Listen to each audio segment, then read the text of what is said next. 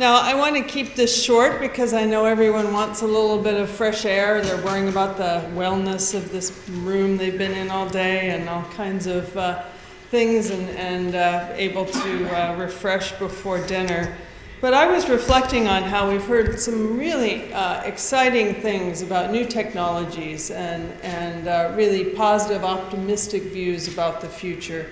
We've heard about integration of technologies and the way to bring things together and about sustainability and the importance of sustainable uh, solutions uh, for uh, the future. Uh, we hear a lot about the Internet of Things, and I want to sum it up and say that I believe that we've come away from this whole discussion today going from the Internet of Things and technology, integration, sustainability to the Internet of People, the reason we are here today and the networking and the things that go on when people get together and work on problems. People kept coming up in all of our discussions. I heard citizen involvement, talent competitiveness, collaborative, innovative, uh, collaborative innovation. Uh, we heard about healthy buildings that people might like to be in, uh, free, friendly, open atmospheres for collaboration, the importance of balancing freedom and order, uh, the balance between immigrants and locals, uh, the issues of inequality in cities. We heard that innovation isn't uh, helpful if it doesn't have customers or people to adopt the new technologies, to take up the new ideas. And lastly, we heard a lot about the importance of teams and even the suggestion that cities may be better if they collaborate with one another uh, rather than trying to go it alone. So I just want to finish where I started this morning, talking about how important I believe open collaboration, cooperation, and mobility are. And I want to congratulate again the Global Federation Competitiveness Councils for making these opportunities for us to come together as people for us to have these thoughtful discussions and for us to move uh, these uh, issues forward. And so uh, with that, um, I just want to thank you and ask uh, Chad to come up next.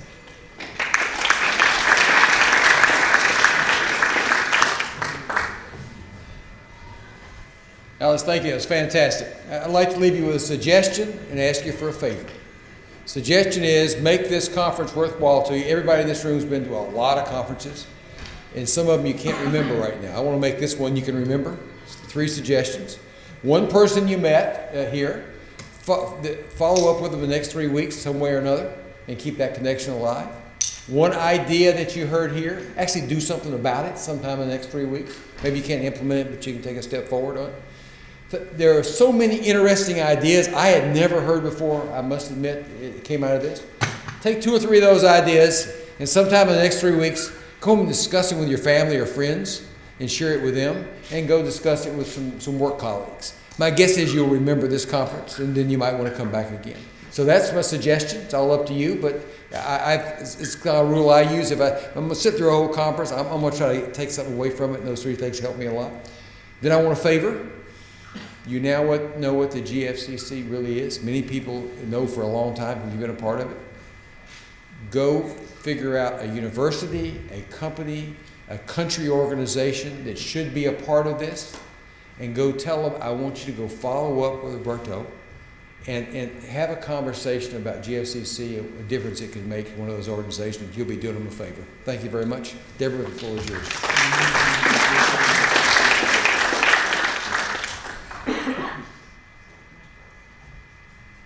Thank you, Alice and Chad. Let me just, on behalf of the GFCC, thank all of you for coming, for being with us for the day. Uh, there was tremendous uh, conversation and networking and engagement. Uh, I think our innovation of the breakout sessions were great. Um, following up, we're going to prepare a report. We're going to uh, put this out both on social media, but you'll also get a summary of our discussion. Um, so many of the ideas that emerged uh, really had a lot to do with what we, what we really need to do going forward to collect the dots and to really build on what we've learned here, each in our own respective lives when we go home, but also as we can, as Chad said, keep this community alive.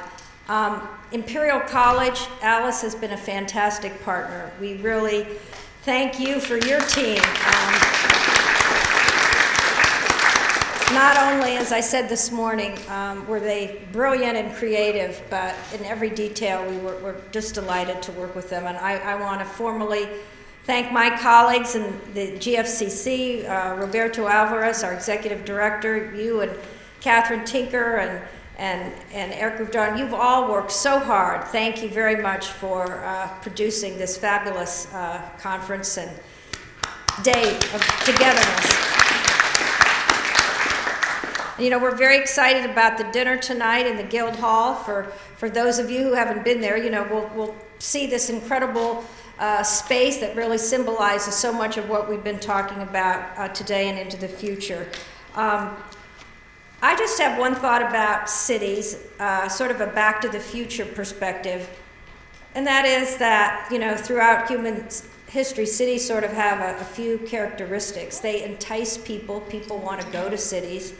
But in order to go to a city, you have to feel safe and secure. And also in a city, you have to be busy. You have to do things that give your life purpose and meaning. And the other thing about cities, and we didn't talk about this, but cities have a soul, and they have something about them that makes them special and unique. So as we build together the uh, seamless, the evolving, the, the well, and the free city, let's not lose the great diversity of the uniqueness of cities around the world that um, characterize our, our culture and humanity.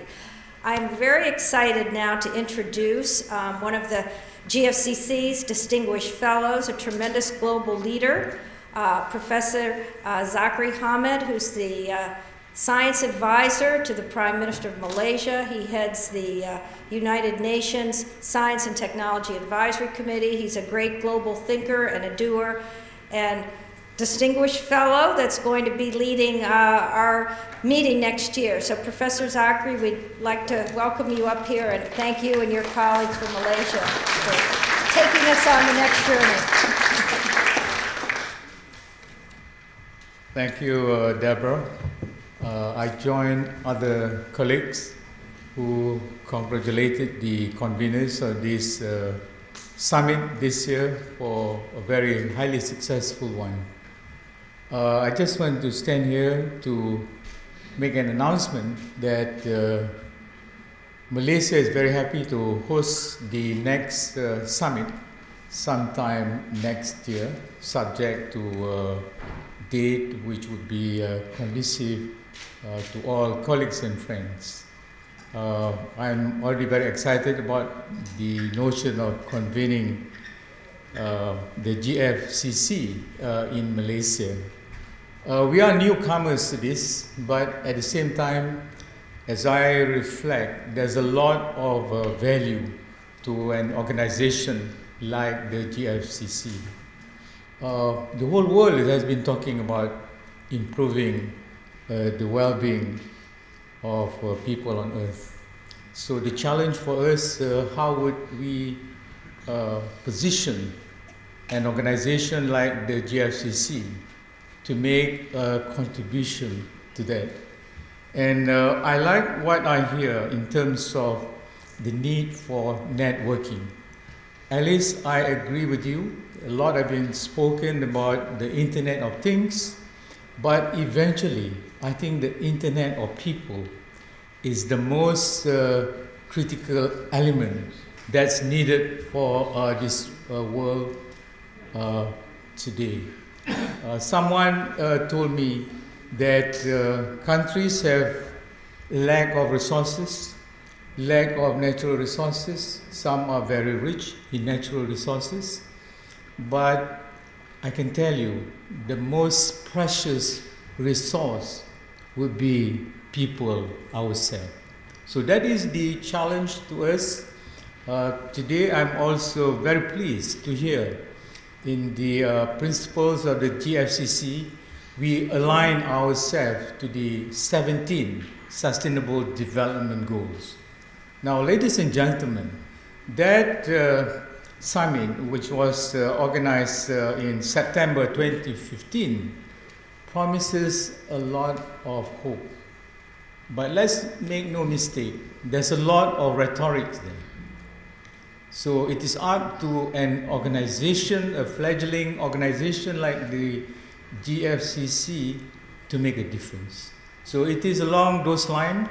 I'm very hopeful. I'm very keen to organize the next meeting of the GFCC. Uh, welcome to Malaysia. I learned quite a number of you have not been there. Uh, I'm not very pleased to know that many have visited Singapore. But we promise you a good time in Malaysia next year. Thank you.